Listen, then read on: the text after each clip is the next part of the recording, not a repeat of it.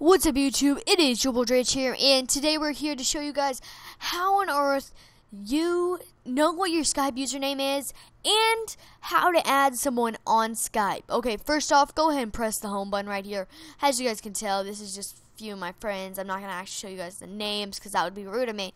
It is actually weird that I'm showing my name. Okay, for now, once you press the home button, go ahead and click right here. That is your personal name. You can edit it as you please, and other people can also edit it.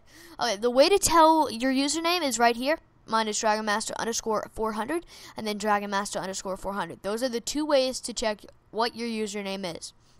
Okay, now how to add someone. You see this handy dandy? Okay, give me a second. You see that handy dandy thing right there? I'm just trying to.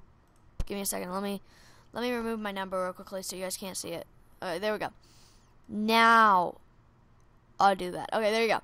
See, guys, you can check and you can like add. I don't know. Let's just enter Steve. See, that's how you search, and then you press on them. Press add contacts, and then you can type down here what you want to say, so they know who you are. Well, anyways, guys, this is your boy Dransch here, and I hope I helped out.